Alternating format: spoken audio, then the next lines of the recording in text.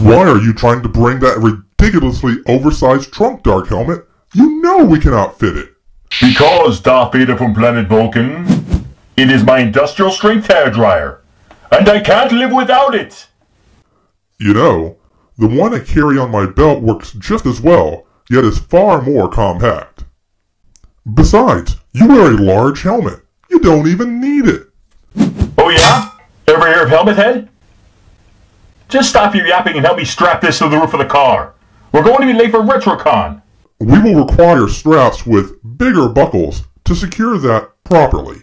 Ah, buckle this. We wouldn't have this problem if we weren't traveling in a 1980s DeLorean. I'm liable to twist my Schwartz getting into this puny thing. I know you think this car is too small, but it really is the most efficient way for us to get to RetroCon. I mean, you cannot even beat the speed of time travel. No, no, no. Time travel is way too slow. We need to get all this stuff aboard Spaceball 1. Then we can get there at ludicrous speed. I believe your helmet is on a bit too tight.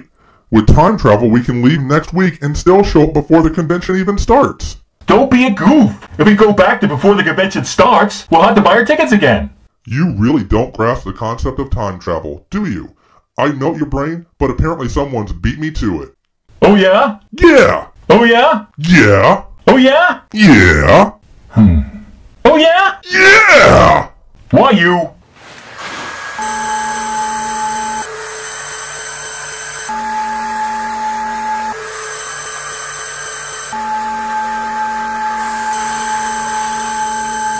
You know what, Spaceball? This bickering is pointless. After all, I am your father's brother's nephew's cousin's former roommate. You know that makes us absolutely nothing, right? But I suppose you're right. I guess we'll never get the car packed arguing this way. So let's say we finish up here and have fun at RetroCon. Hmm. Your proposal is acceptable, Spaceball. Ah, cool. Now let's finish up here and hit the road.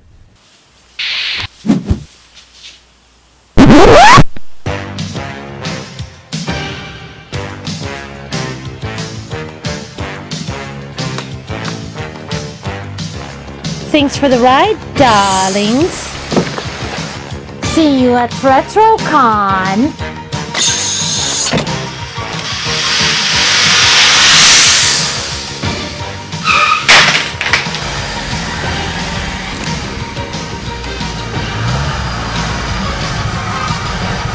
When this baby hits 88 miles an hour, we're gonna get seriously retro.